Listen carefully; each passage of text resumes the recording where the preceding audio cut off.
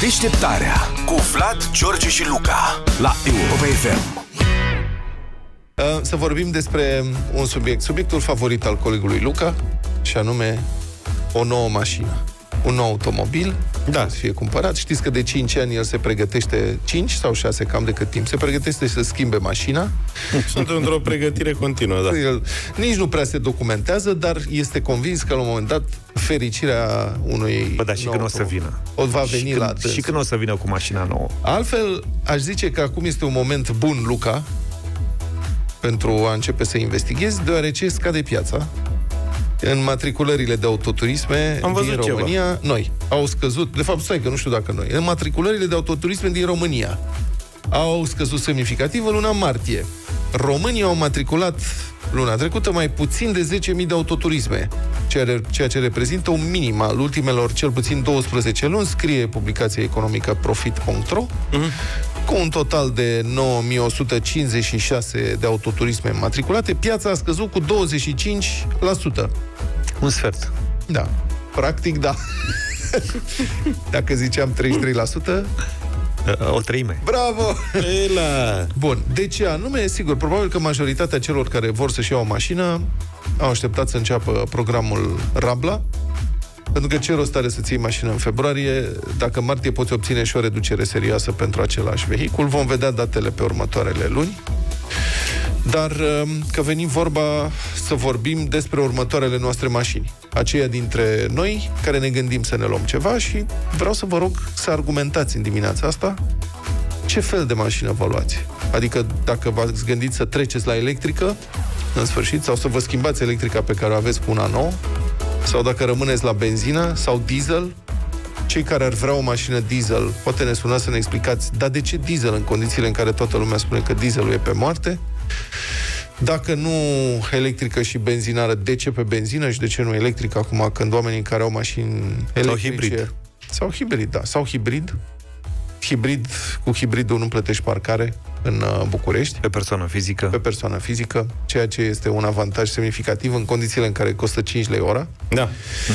Dar adună. dacă vorbești cu, pa- cu proprietarii de mașini electrice, ei spun că nu s-ar mai întoarce niciodată la mașini uh, cu motoare cu ardere internă.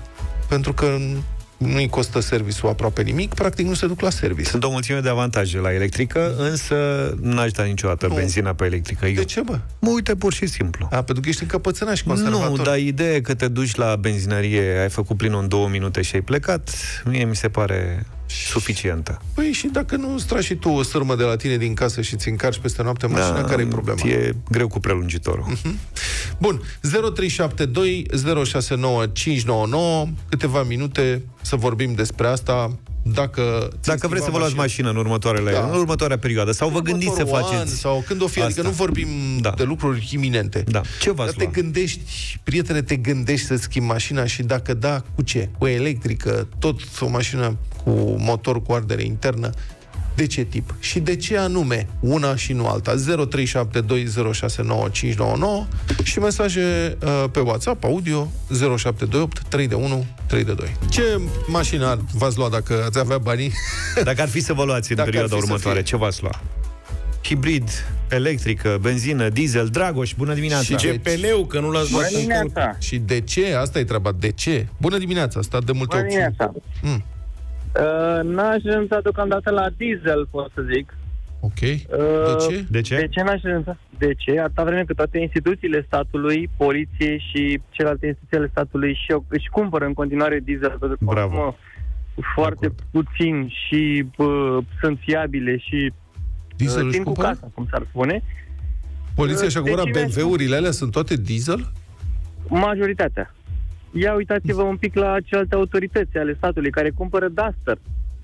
Și sunt Duster-uri, multe din ele sunt diesel. Doamne, nu m-am Uh, gândit la asta niciodată. Interesant De abordare. ce? Da, de ce mi-aș cumpăra eu prima dată diesel Da, când... să salveze guvernul planetei. Plus de asta ai dreptate, că ai viața înainte să conduci electrice. Diesel mai ai acum câțiva ani. Știi cum e? Uite, eu, de exemplu, n-am avut niciodată mașină diesel. Bine, Bravo. n-am prea avut mașină. Alea două, trei pe care le-am avut, toate au fost pe benzină. Dar mi-aș lua un diesel și eu. Acum, la spartul târgului, să văd și eu cum e. Bună dimineața! Studiez piața de aproximativ uh, 4 ani pentru o nouă mașină. De fapt, pentru o nouă mașină Ești ca a mine. soției, care Și eu la fel fac. face mai mulți kilometri decât mine într-un an. Uh, Rămân tot uh, la benzină, mi se pare cea mai ok deocamdată. Într-adevăr, uh, mașinile electrice sunt super, doar dacă locuiești la casă, deții panouri fotovoltaice și nu cumperi uh, curentul electric din, uh, din rețeaua națională. Așa că probabil o să mai studiez încă vreo 3-4 ani când uh, mă va convinge în totalitate mașina electrică că merită să o cumpăr. Mulțumesc! Eu nu Mulțumim. înțeleg aia cu panourile fotovoltaice. Că mașina electrică o încarci de, de obicei noaptea, nu ziua. Iar compensarea aia de la... De unde știi că nu, poate are timp ziua Noaptea. și stă acasă Aha, ok. și o, și o încarcă. Vii repede acasă pe lumină. Mai bagi un pic de juice. Lucian din Otopeni sunt. Salut! Din 2020 sunt pe electrice, am economisit 6.000 de euro și mă trezesc în fiecare zi cu rezervorul plin. Dacă mai vreți motive, mai am încă 50. Bravo! Ce nu știi tu e Ne-a că pe vărât-o. cale, e pe cale să te nenorocești. Îmi pare rău să te anunț asta, dar uite, ascultătorii noștri ne-au dat de veste. Atenție! Nu știți voi cât radiază una electrică. Radiază un telefon, dar rămite mașina. Dar ce radiază? Că... Ne scrie cineva. Ce, dar ce radiază? Nu te supăra. Și pe mine m-a Motorul? surprins, dar... E Așa radiază...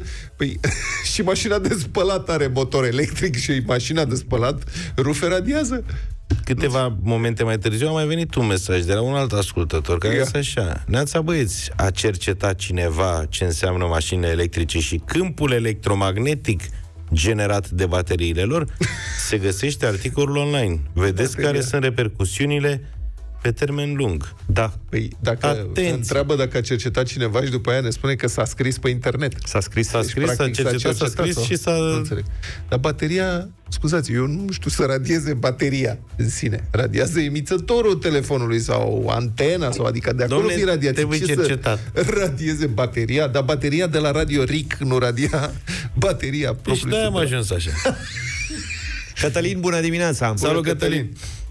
Bună dimineața! Salut. Eu aș aduce în discuție alt aspect al mașinilor hibride și electrice, Da. servisarea. Va veni timpul în care uh, trebuie să mergem cu ele la service pentru că se strică. Nici acest sistem hibrid nu va Ce să merge se strice? pentru totdeauna.